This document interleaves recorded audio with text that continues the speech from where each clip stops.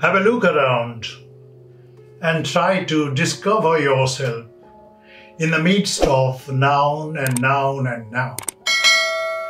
The world on the one hand and your head on the other are full of nouns, are full of what we understand as nouns. That's why in the list of parts of speech, noun comes first. What about other parts of speech?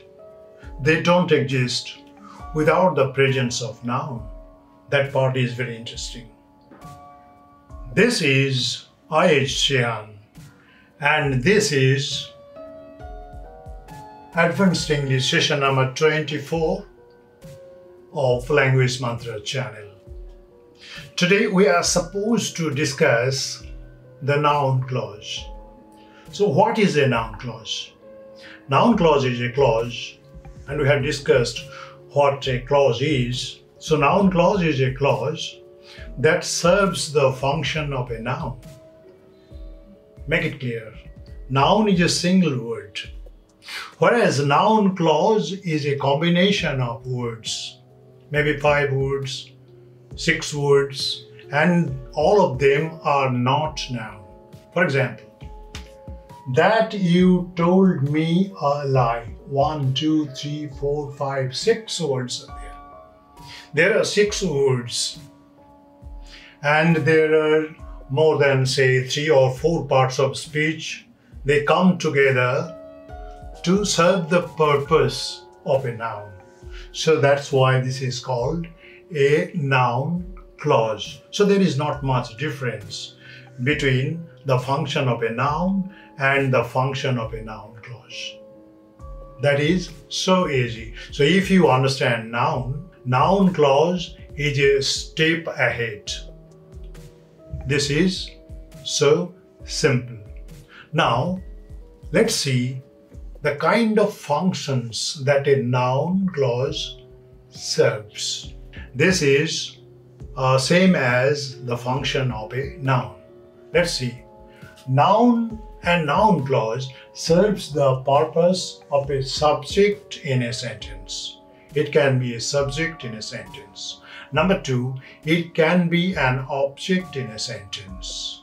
Number three, it can be object of a preposition. And number four, it can be a complement to a noun. There may be other functions also, but these are perhaps the most important functions. So let's see one by one. Number one, function of a noun clause, subject of a sentence. That means noun clause becomes the subject of a sentence. How? For example, that you told me a lie was detected later. That you told me a lie was detected later. Some grammarians say that this that is not enough. They prefer the fact that. We don't have any objection. You can use the fact that. The fact that you told me a lie was detected later. So underlined part is noun clause. This is part of a sentence. And this is a subordinate clause. So how do we know that this is a noun clause? There is a simple form of test. You can just uh, have a look at that. That you told me a lie was detected later. What was detected later? If you try to find an answer to this question, answer must be a noun. What was detected later? That means something was detected later, and that something is that you told me a lie. So something is equal to that you told me a lie. Something is a noun. So that you told me a lie is obviously a noun. So this is a fact that is explained here. That you told me a lie is a fact. The fact was detected later. Something was detected later. this was detected later, it was detected later. In all the cases, you see the subject is either a noun or a pronoun, and noun is equal to a pronoun. So there is no question, no doubt, no confusion that this part serves the function of a noun. That you told me a lie was detected later. That you told me a lie is a, is a noun clause. Number two, when the president will come is not known. What is not known? It is not known. Something is not known. The time is not known. The place is not known. You see, all the subjects I substitute are either noun or pronoun. It is not known, it is pronoun. And noun and pronoun are almost the same. We can substitute.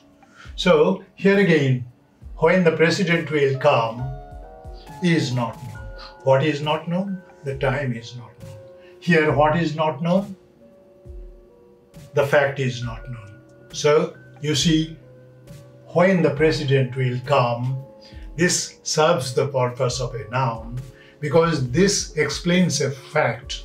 In that case, this again becomes a noun clause and they serves the purpose of a subject in a sentence. Now come to the next point that is object of a sentence. Everybody knows that you are honest. Everybody knows. What does everybody know? Everybody knows something Everybody knows your character. And what is your character? That you are honest.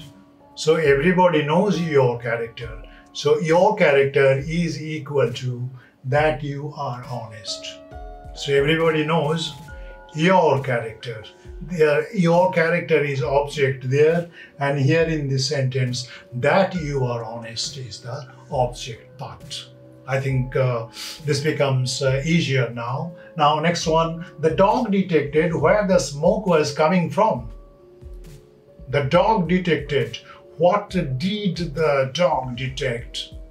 The dog detected where the smoke was coming from. Make it smaller. The dog detected the place. And place is a noun. Therefore, place is equal to where the smoke was coming from. Got it? So simple. If you can replace a clause by, you know, it, this, that, something, time, place, etc., then it becomes, if you can do it, then it becomes noun clause. Very simple. Now we have the third part, object of a preposition. This part is almost the same, but if there is a preposition, in that case, that object part belong to the preposition. That is something you must remember. I have no knowledge of where he is. I have no knowledge of what? Of where he is. So, where he is, this is considered to be the object of the preposition of here. Now, next one Jim is familiar with how the patients behave. Maybe Jim is a doctor and he handles a particular type of patients and he knows how they behave. So, Jim is familiar with how the patients behave. Jim is familiar with what?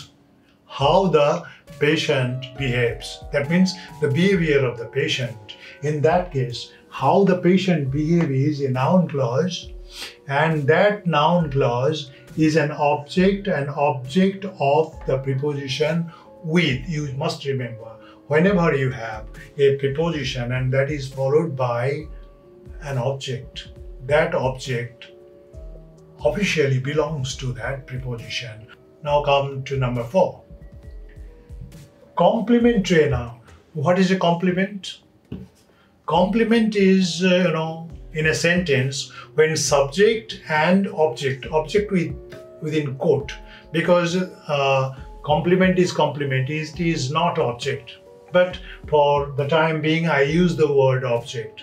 When the subject and object becomes one and inseparable, In that case, the object is called complement. For example, I am a doctor. Now what happens? I and doctor, these two things are inseparable. In this case also, the fact is C is absconding. The fact is C is absconding. Now, this fact, what is the fact?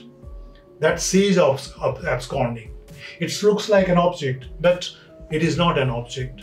It is a complement. And complement normally comes with this verb, to be verb.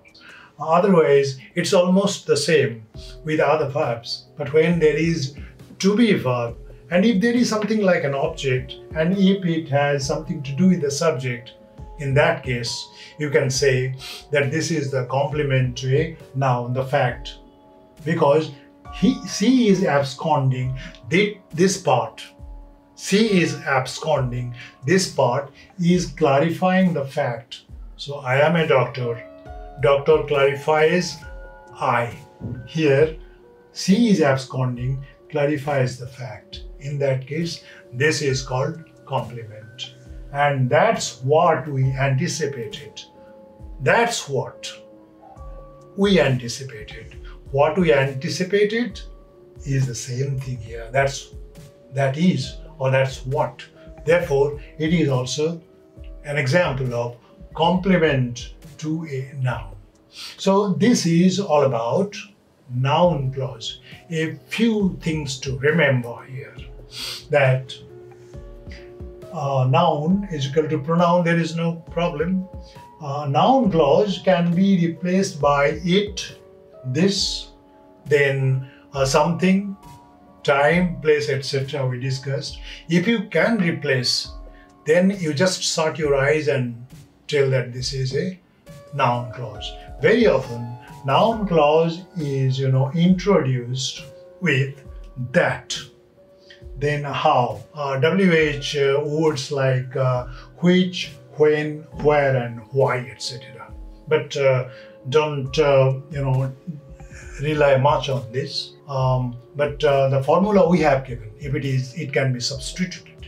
It can be replaced by you know it, this, that, something. Then just sort your eyes and be sure that this is a noun clause. So this is all about we have to talk about noun clause and it will be further clear when we discuss adjective clause and adverbial clause and uh, we'll have more time on this when we compare and so uh, we come to an end of this session but uh, remember to uh, share us remember to subscribe our channel remember to like or dislike and comment if you have anything to say, we'll be glad to uh, have your responses. So, this much today. Thank you very much. Have a nice time.